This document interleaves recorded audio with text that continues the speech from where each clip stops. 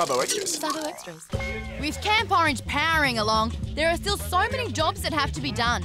So Sabo Extras are taking you behind the scenes again to see what some of the crew's jobs are. I'm, I'm the director and I look after everything. My job is to coordinate four film crews. We've got four film crews on Camp Orange and I have to make sure that we cover the, the action and make sure that we've got the cameras in the right spots so that everyone at home gets to see all the bits that they need to see. Take the sack with you. Try and hand it. Basically, we try to capture everything that happens and not miss anything. Jono, can we get a bit more light on the kids, mate, if we just move the flicking over or something? Often I'm walking around a course trying to work out in a challenge where the kids will run. You. You know, how will they do things? Can I see their face?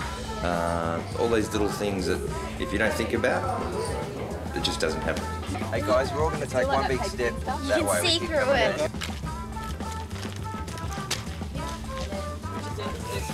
Well, this is a microphone. See my little my pet rabbit here, and that picks up sound in this end, and it all goes down this wire onto this little um, mixer thing with knobs and things, and then we feed the sound onto a hard drive recorder, and we also feed sound to the cameras.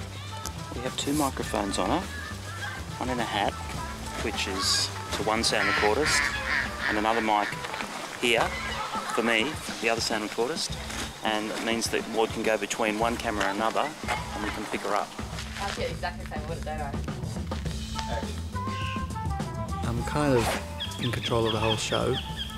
Um, it's a bit like uh, if you imagine Camp Orange as a big holiday road trip. I'm just the person that initially said, "This is where we're going, and this is where we're stopping along the way." And while Camp Orange is going on, I'm a bit like just the guy at the back saying, "No, turn left here, no, turn right there."